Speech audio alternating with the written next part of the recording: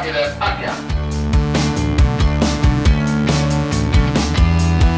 Witam, nazywam się Remig Jankowski. Kreuję postać eksperta, który doradza ludziom, kiedy powinni już zakupić sobie pierwszą parę okularów albo może kolejną.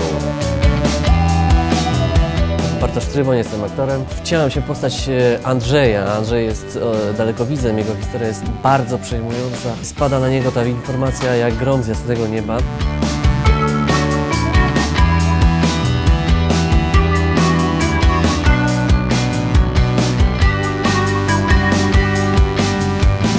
Justyna Kabała. Gram bohaterkę wybierającą się na urodziny. Mam dylemat, które okulary wybrać. To był mój pierwszy kontakt z panem e, Smarzowskim. Pan Wojtek świetnie prowadzi aktorów.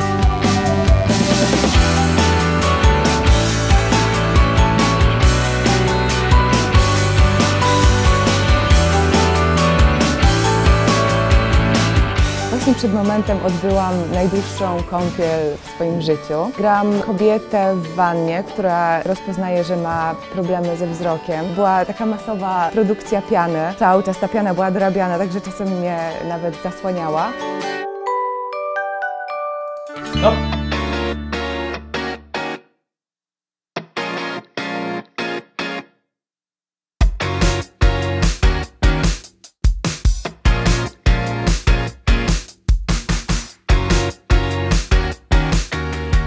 Adam Biernat, gram w reklamie Pana na przystanku, kiedy widzi eksperta e, w postaci ducha,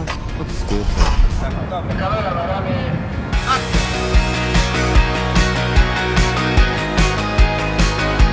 Myślałem, że będzie gorzej. Chodzi o pogodę. Troszkę zmarzły mi uszy. e, Zresztą to było widać, bo często pani charakteryzatorka przychodziła i maskowała mi uszy.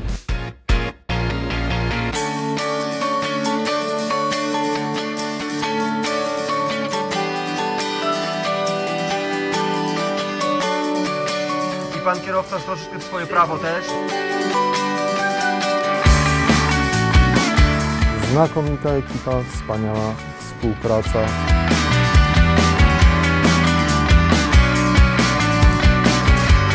trzy czwarte.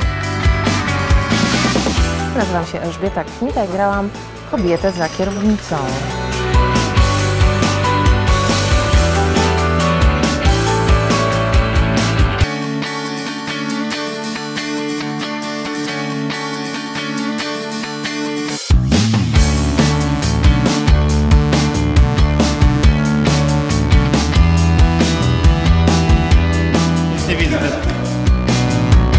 Z Moniką zostałyśmy rodziną. Właściwie to ja zostałam jej mamą, ona została moją e, córką. No jest jakaś druga, więc ja jestem złą matką, bo moja córka jeszcze nie śpi i wybierałyśmy pierwsze okulary.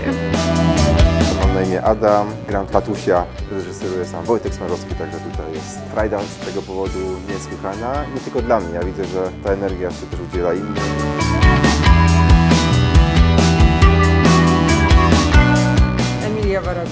Na planie atmosfera wspaniała. Nadszedł czas grania ślepej kobiety. Jest siódma rano, nie zaczynamy, kończymy. Było wspaniale, bardzo dużo się nauczyłem. Super ekipa, więc daliśmy radę.